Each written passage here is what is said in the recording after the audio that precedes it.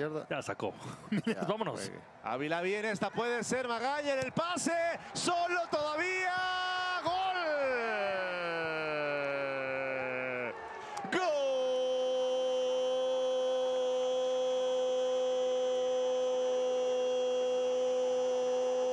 ¡Gol! Ya lo estaba fallando Alex Aguilar. Pero bueno.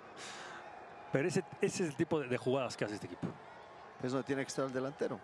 Ahora, eh, te digo, la saque lateral era para el otro lado, ¿no? Porque no, no, tocó ninguno de los dos la pelota.